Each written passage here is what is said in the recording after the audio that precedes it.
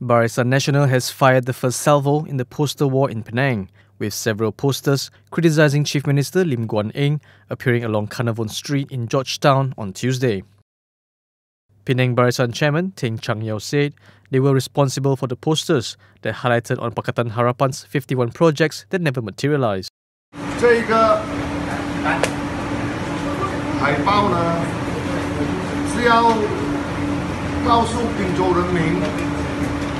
西联的这个诺言啊，西联西联的这个啊答应的东西都没有办法做到，十年都没有办法做到了，所以这个是我们要传达的消息。Teng, who is also Penang Gerakan chief, has been touted as BN's chief minister in waiting should the coalition capture Penang in the 14th general election.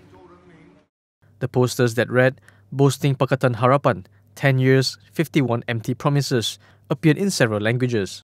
Penang Island City Council or MBPP officers took down the posters later on Tuesday.